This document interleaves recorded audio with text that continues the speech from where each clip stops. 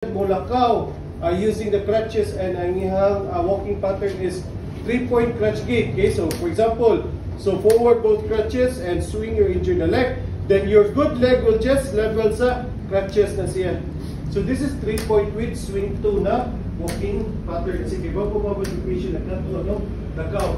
But once the patient is already familiar, then pwede na siya mag-swing through sa iyang good leg na siya. Okay.